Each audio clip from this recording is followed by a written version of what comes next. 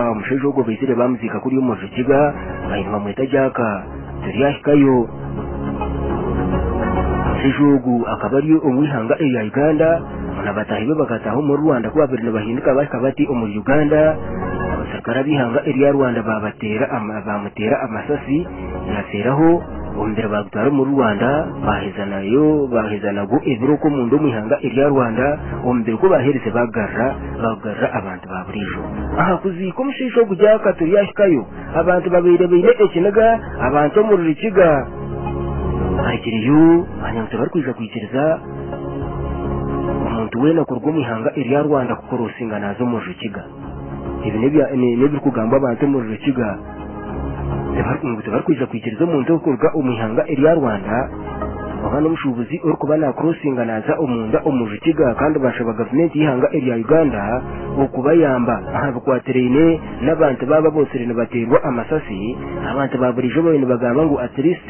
ahu ibi byona aho byatandikira ngo abantu bashikanka mukaaga omu myaka mike aha nsharo eya eh, uganda hamwe na n'ihanga ah, ya rwanda oku omu rukiga netazi erikushikaga makumi ataano okuhika ahari boda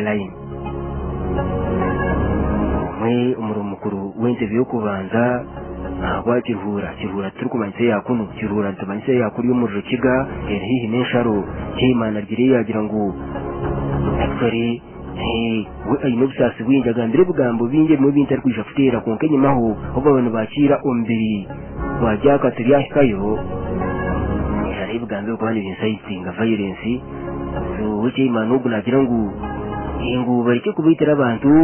nwaabo okuba uganda nayo eine embundu kandi ngu tikiri kirungi ahabwokuba abantu baabobosire nibafa omu muringo nk'ogwo babatera amasasi